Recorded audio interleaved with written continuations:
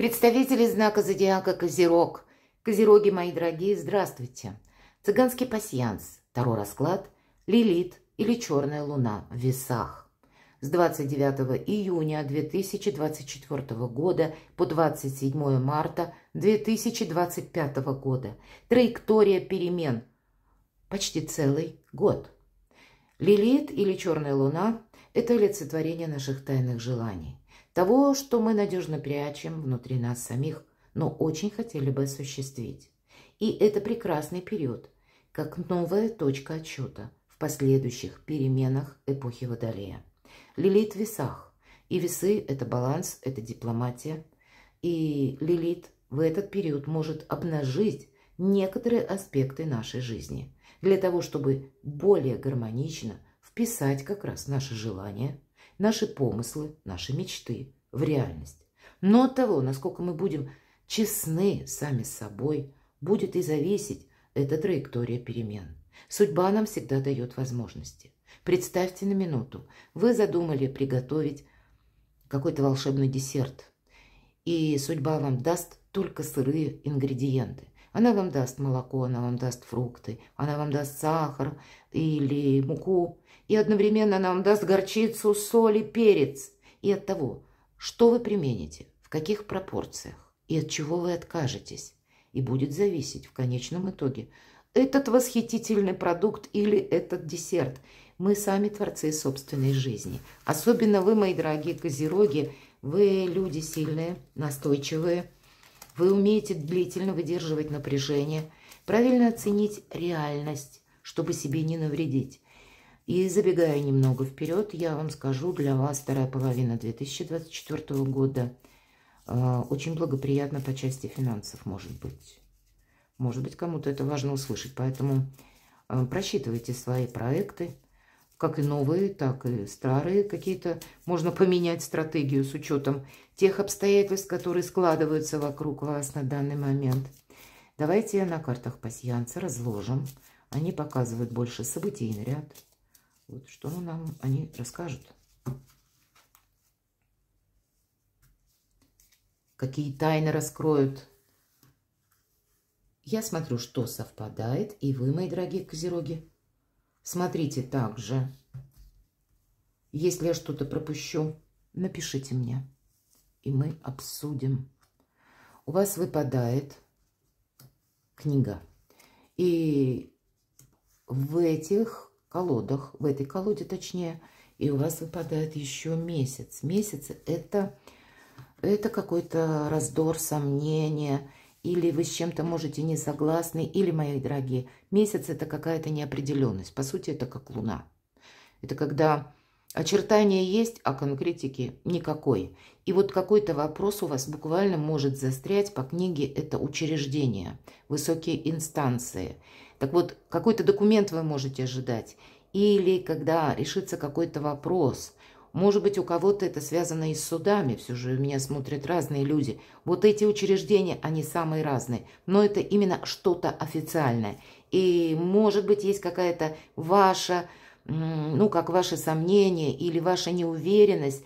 Как у меня решится тот или иной вопрос? Вот давайте посмотрим.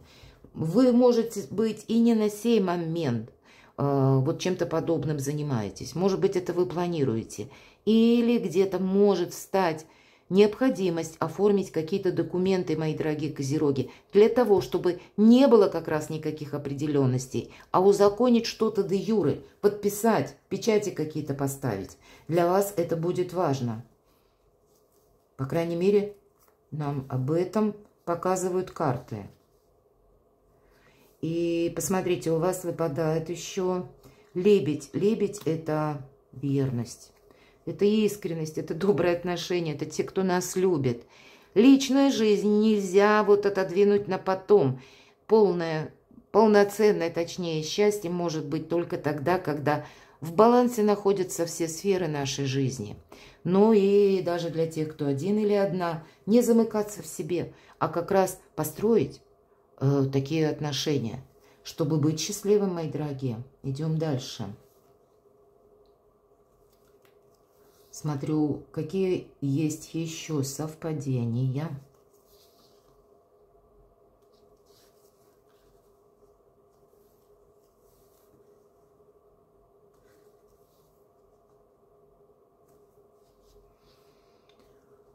И пока я не вижу. Нет, правда, вот смотрите, по документам нас снова Ага, и вот так вот совпало. У вас совпал конверт и радость.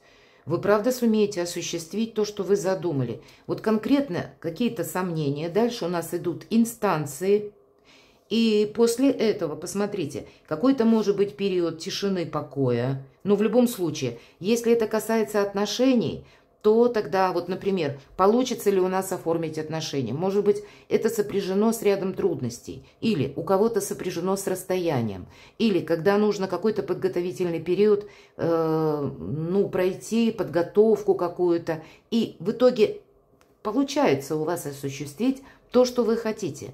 Или это будет связано получением, может быть, конкретного документа, и дальше вы уже совершенно для себя какую-то, ну, к примеру, как переезд, другую стратегию продумываете. И у вас это тоже получится. Документ будет, который будет вас конкретно радовать.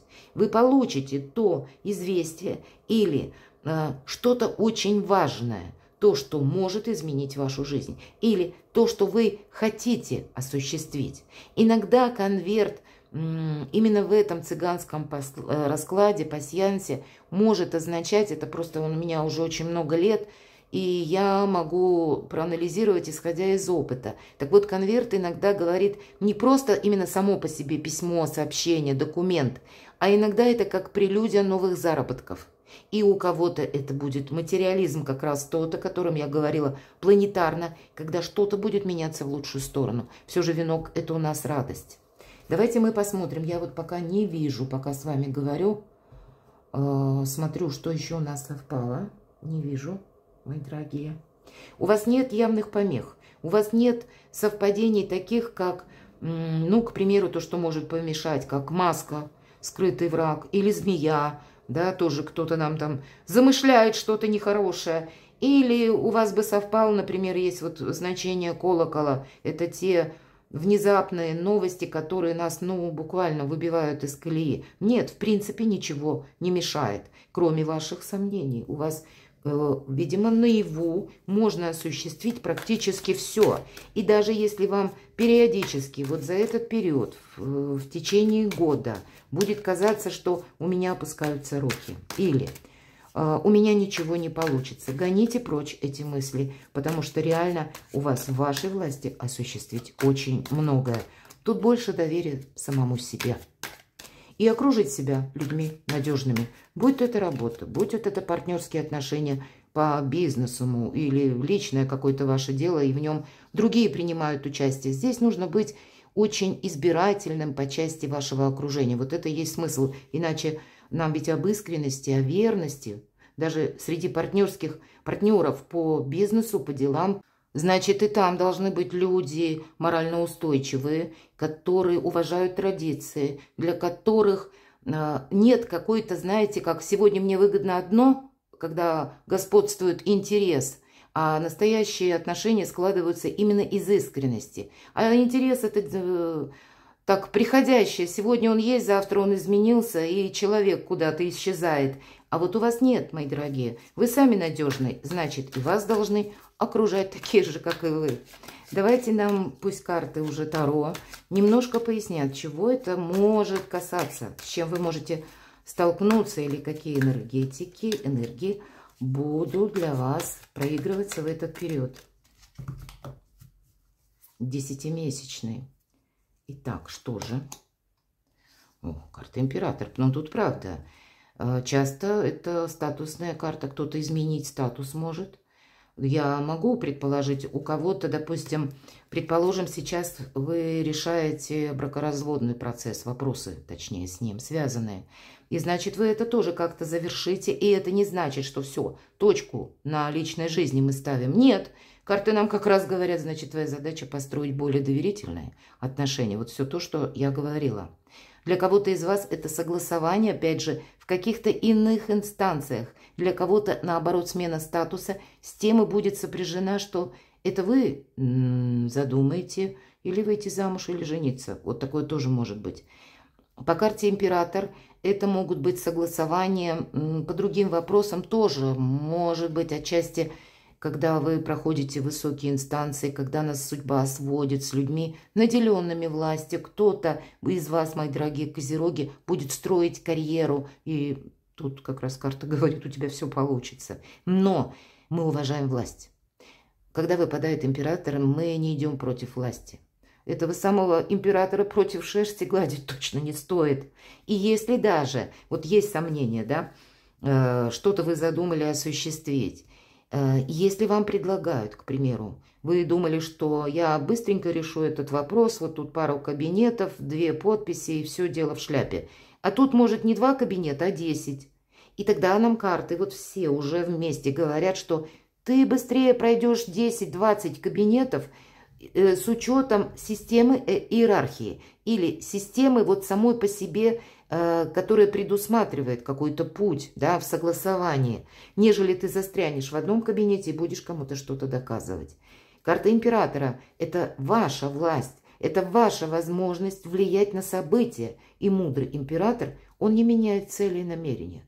Он корректирует мелкие планы с учетом той обстановки, которая складывается.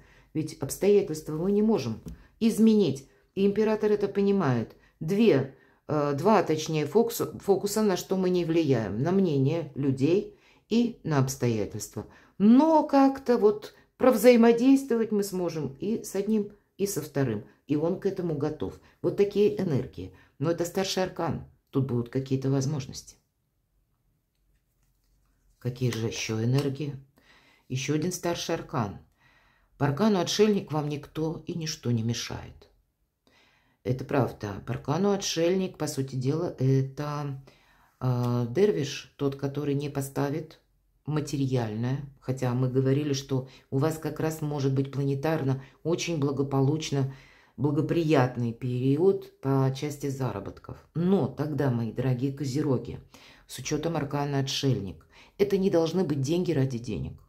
Вы хотите, к примеру, осуществить какой-то свой проект.